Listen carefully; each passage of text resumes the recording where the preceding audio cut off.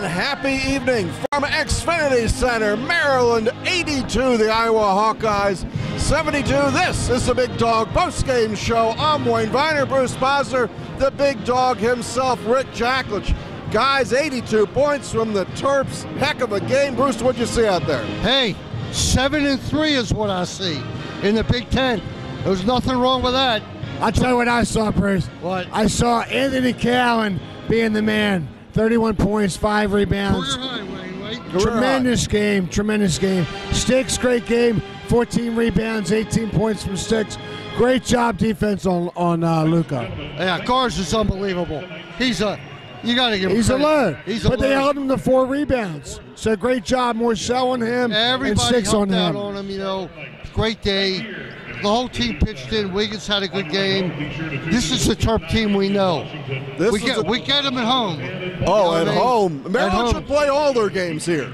Well, anytime they turn the ball over only 10 times, they're going to win. Yeah. Oh, They- it, it was a it was a total win. There were several times we thought Maryland might actually blow the game out. It, it kept getting back to seven or eight, but Maryland dominated the second half of this game in a way that makes you think they really can go someplace. If you play like this, you can go a long way in March. Well, you're seven and three now. What are we? 16 and four, 17 and four, I'm going 17 and four. 17 and four, and we have uh, we're off till Tuesday. Rutgers, There's not an Rutgers easy game. comes in. There's just not an easy Tough game. schedule the rest of the way, no And doubt. then you got to go to Illinois, which is Illinois is pretty good. they're They're damn top of the league. They're Yeah, damn good. I mean that's Mason's uh, dark horse pick way back in the preseason to win this conference. Well, it was just a great effort, and uh, it started off. I was a little worried. I thought that they had their stuff going today, but they lack that guard power. You know Well, what I mean? they, they have a six-five, six-six small forward who plays point guard. yeah, I mean, and they, we they don't. He, they- didn't, he didn't have a game like he did the other well, day. he did for the first couple minutes. He had eight points in a hurry, and, and then Maryland shuts him down. But I like the pace of the game. That was a Maryland's pace game. Mm-hmm. So, How was your trip, Rick? Egypt is beautiful. Was it nice? Recommended highly. All right. Pyramids are wild. well, welcome back. Welcome back is welcome right. back. And here is a word from Rick Jacklitsch and the legal team, and we will be back. We'll see you Xfinity Tuesday, Center right? Absolutely. We'll be here. Hey, The Jacklitsch Law Group's successes have resulted in many distinguished awards, including Best Personal Injury Trial Law Firm USA, Maryland's Personal Injury Attorney of the Year twice, and Super Lawyers designation every single year. We succeed because we're willing to try cases, and insurance companies know it. That's why their claim reps often grumble they pay us more in settlements than any other lawyers. You deserve a great lawyer. If you've been hurt in a car, truck, or train crash, call 855 Big Dog 1.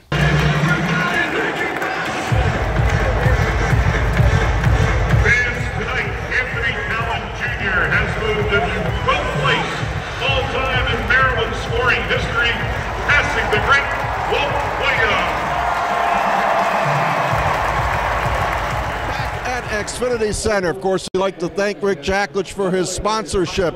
We want to thank Meyer Consulting Engineers of Rockville, Viner Fourgates of Rockville.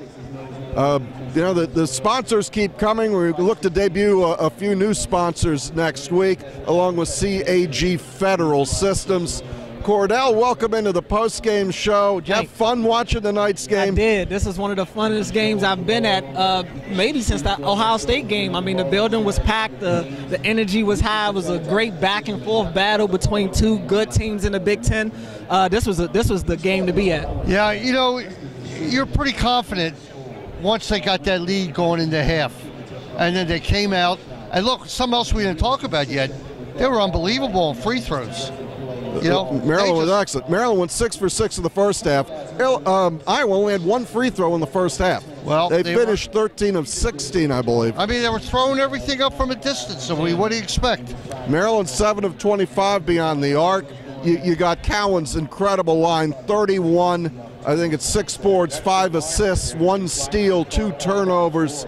Uh, just, just a career line, What could you ask for? MVP chance. A- and they should be. Yeah. I mean, uh, He who was has a better one-two punch? I mean, Jordan, the young Terp, was bringing this up with about 10 minutes to go.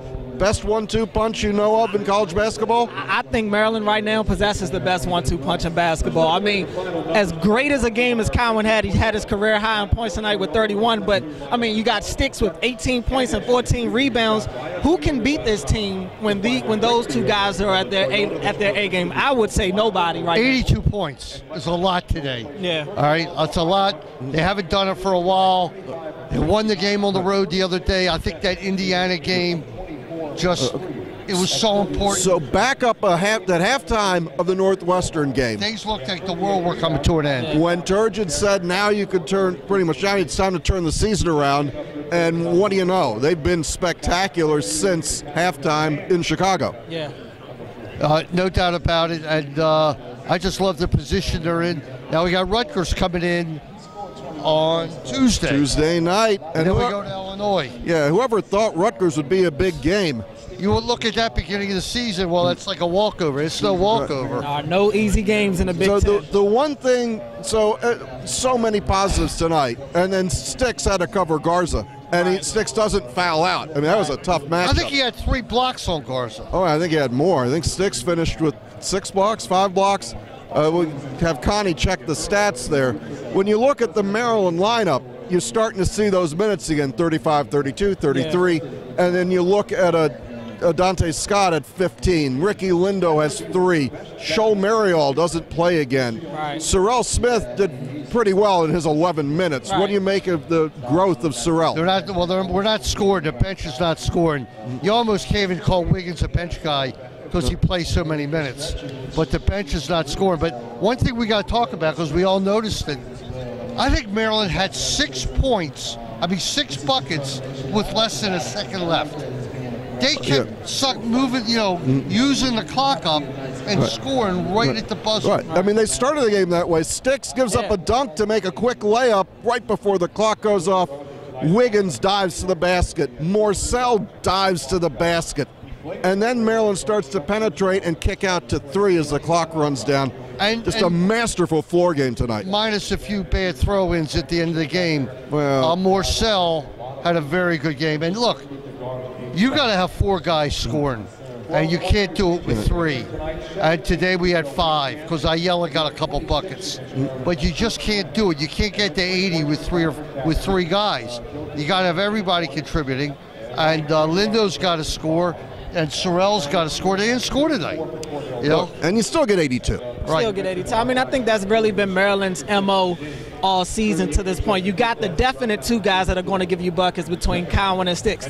Then it gets a little foggy when it comes to that third option. It could either be Ayala or it could be uh, Wiggins. And tonight we got a little bit of both from both. Got a lot of scoring from Right. both of those guys. He had a pretty good game from Wiggins It goes two for nine Yeah. from beyond the arc and still gets his 11 or 13 points. Just points. being aggressive. He just he was he was really being aggressive. That's all you can ask for. This jumper may not be falling, but just stay engaged. but All it right. still looks so pretty. Yeah. Oh, Let's yeah. take a minute because uh, we won't be in the air till Saturday. First game for Maryland and lacrosse. They face High Point and Asher Nolting, a tour time favorite. It's going to be a very tough game. Maryland's like Tillman doesn't even know who's starting in goalie yet. I mean, he, Well, a lot of decisions. But Super Bowl Sunday. Let's each, each give a score and see who does the best. Wayne. Okay, uh, I'm going Maryland 16 to 12. Yeah. that's the big game for me this weekend. Terp Speed High Point. Uh, you said there's another Super Bowl. game. Super Bowl. I don't care. Who? Well, you got to make a pick. 27-20 KC over the Niners. Uh, I'm gonna go. I'm gonna go 31-28 Niners. Whoa. 41 24 KC. The Niners cannot keep up with them. I really Is, don't think is so. KC bringing the Sunshine Band? Or is I that a know, different discussion? Mr. Turgeon's pretty concerned about that he is. game. Hey, w- he is. Uh, so we have to head in and co- uh, see what Coach Fran has to say. Oh, yeah, Iowa falls on the road. Maryland 82. Iowa's Hawkeyes 72. We'll see you on the radio 1300 CBS Sports Radio Saturday for the Sports Sunday. Maven, and Monday on WNST. Uh, both. Well, Saturday brought to you by Koons Ford, Monday by Science and Kirk. And we'll be back here after the game, after the Rutgers game on Tuesday evening. Good night from College Park. All right.